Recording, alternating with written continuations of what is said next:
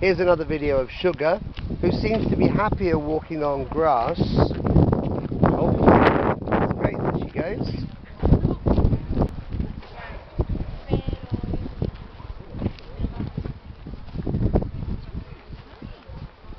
A beautiful girl.